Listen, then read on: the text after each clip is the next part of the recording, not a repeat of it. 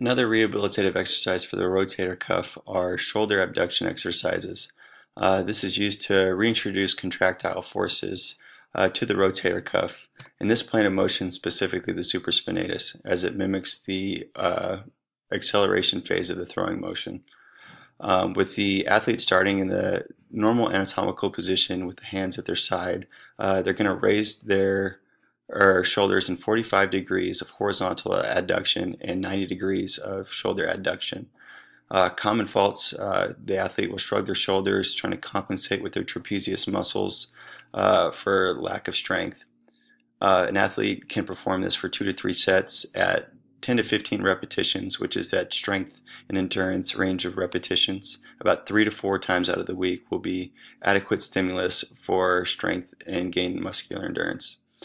As they progress from this, uh, reverse throws uh, can be performed to reintroduce the kinetic motion uh, used in the throwing motion. Uh, this will help them gain proprioception and strength of the antagonist muscles. Uh, executing this, the athlete will be in a kneeling lunge position, resembling that of the the the follow through or the finish motion of the throwing motion and use the torso to generate energy to put uh, to use th through the shoulder to uh, throw the ball in reverse of the usual throwing motion. Um, common faults you'll see with this exercise are not generating uh, proper kinetic energy from the torso. The athlete will merely just try and throw the ball in reverse from the shoulder.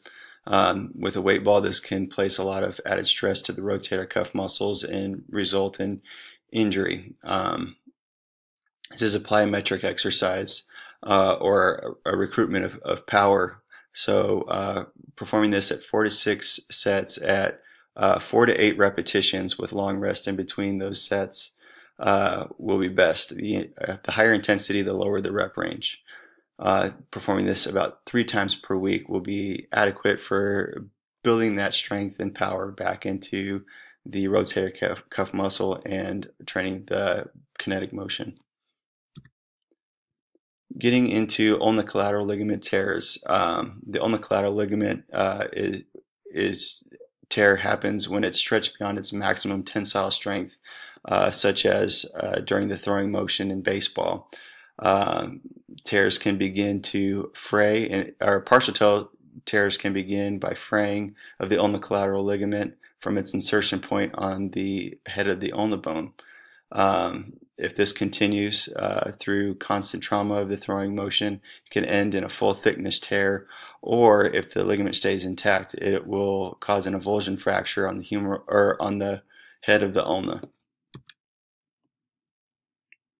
Um, anatomy of the UCL. Um, the UCL ligament uh, originates at the anteromedial epicondyle of the humerus and runs across the joint and inserts on the posterior medial side of the ulna uh, at the ulnostyloid process.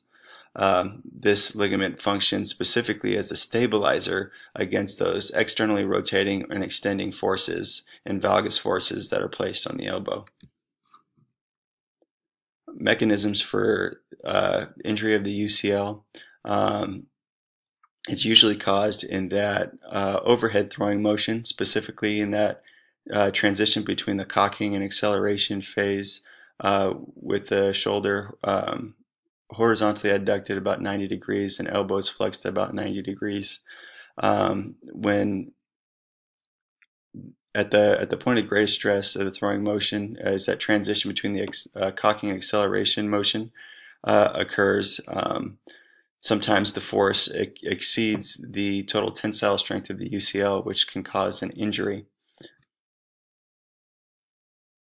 Uh, assessments uh, to see if an athlete has injured their UCL is the uh, valgus stress test, where the assessor is going to stabilize uh, the humerus of the athlete and um, while it's externally rotated, um, the assessor can then palpate where to find the UCL right below the medial epicondyle and use the other hand uh, just superior to the patient's wrist, uh, flexing the arm at about 30 degrees and then applying the valgus force to the UCL. Um, positive test can uh, result in increased laxity uh, in the elbow joint. Uh, if this occurs, uh, the athlete will need to get an MRI to reveal the severity of the UCL uh, injury. treatment for UCL, one of the, the more modern treatments are PRP injections, that is PRP standing for platelet-rich plasma, the substance in your blood that helps uh, heal heal your uh, your tissue. Uh, this is done by extracting your the athlete's blood um, and removing the uh, platelets from it and, and, injecting them directly into the area of injury to stimulate healing. This is great for uh, areas that have uh, low blood supply, like in, in your joints, like in your elbow or or other areas that have low blood supply. Um, a preventative exercise for the ulnar collateral ligament are the uh, plyo blowback with weight balls. Uh, this will stimulate neuromuscular adaptations for better proprioception in the throwing motion. Uh, it trains valgus forces of the UCL in the cocking and acceleration phase of the throwing motion, and uh, also strengthens antagonist muscles in the catch phase of the exercise, which helps for greater stability. Uh, the athlete will face the plyo back squarely about five feet away uh, in the overhead throwing motion. Uh, again, the shoulder adducted 90 degrees with the elbow flexed about 90 degrees. Uh, the ball will be thrown uh, through shoulder internal rotation through the sagittal plane, and the ball will be returned by the plyo back as it's caught, and the UCL will absorb the force in external rotation. Um, a common fault you'll see with this exercise is if the athlete is flexing their elbow greater than 90 degrees, um, compensating for pain that they might be experiencing the elbow or weakness uh, that they may feel in the elbow. Performing this at rep ranges of about five or five or sets at about two to five sets um, for rep ranges around 10 to 20, depending on the intensity of the throw, um, and then three to four times out of the week for adequate stimulus um, for ulnar collateral ligament uh, plyo blowbacks uh, can then be progressed uh, again to put the body through a greater dynamic motion. Uh, uh, this will stimulate that neuromuscular connection through reinforcing the proper kinetic sequence in the throwing motion. The athlete will stand laterally this time to the plyo back and use weight shifts of the lower extremities to transfer the energy to the pelvis, which transfers or rotates the energy through the torso, which will then rotate or will help extend the elbow, releasing the energy into the projected ball. Um, faults you see with this are an improper kinetic sequence, which will place excess strain on the UCL as uh, the majority of the energy is created um, in the shoulder and the elbow joint. Uh, again, rep ranges of about or sets uh, proper sets for this will be about two to two to five sets, depending on if they're just trying to activate with uh, around two sets or trying to in, increase the strength or muscular endurance at five. Uh, 10 to 20 repetitions can be performed depending on the intensity. Higher intensity, the lower rep ranges. The lower intensity, the higher the rep ranges, and increases muscular endurance. Uh, doing this three to four days uh, with the will be adequate.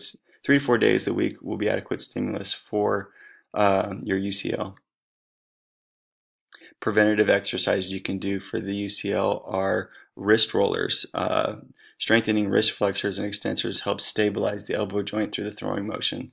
Um, this is performed uh, by with the hands gripping a pole with a string attached, holding a weight at the bottom.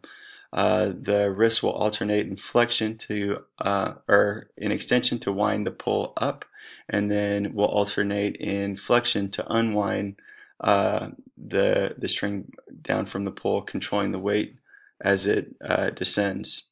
Uh, faults you see with this are um, dropping the weight without control. The, the pole will just slide through the hands and there will be no stimulus placed on the on the flexors or extensors of the forearm. Um, you can do this for about three to five sets. Uh, because of the quick oscillations, reps are best determined through time. Uh, so a complete set will be around 30 to 45 seconds, and doing this three to four days out of the week will be adequate stimulus for increase in strength and stability. Uh, progressing from this, um, wrist pronation and supination exercises uh, can be added. Um, this stimulates the stretch of uh, external rotation that's usually put on the UCL during the throwing motion. Um, it strengthens the stabilizer muscles of the forearm. Um, executing this is uh, will be performed while holding a single end heavy weight, uh, where the wrist rotates the end heavy portion of the weight through pronation and supination. Um, the end heavy weight uh, uh creates an eccentrically resisting force uh, on the forearm muscles and and on the elbow. Um, typically, if the patient or athlete is using their body to transition the weight from one side to the next indicates that their forearm muscles are weak. Um, so it's something to pay attention for. Um, two to three sets are adequate for not only stimulation but also increase in strength of 15 to 20 repetitions. Again, building that muscular endurance because the muscles in the forearm um, are used every day. Um, and then three to four times out of the week uh, will be proper stimulus for those muscles of the forearm. Rehabilitation for the ulnar collateral ligament tear. Uh, these exercises consist of using uh, body blade. Uh, the body blade is great because it creates rapid valgus forces, uh, helping uh, stabilize the contraction muscles surrounding the elbow.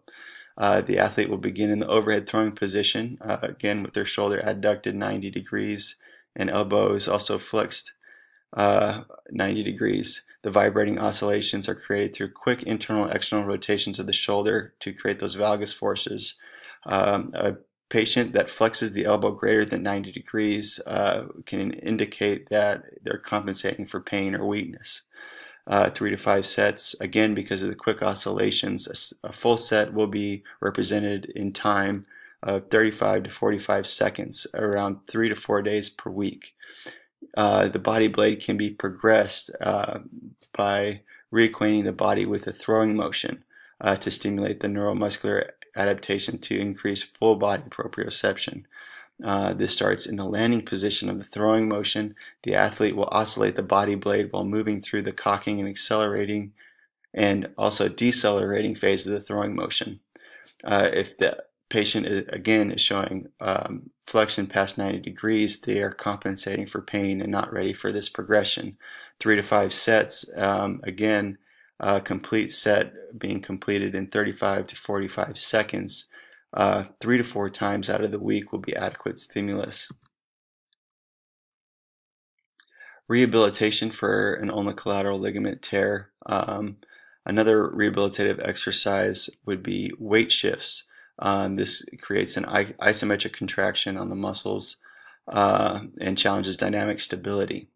The athlete will begin on their hands and knees and shift the weight superiorly, inferiorly, laterally in both directions, and circularly um, common faults you see with uh, this exercise are a rounded back, uh, not maintaining a proper uh, neutral spine position.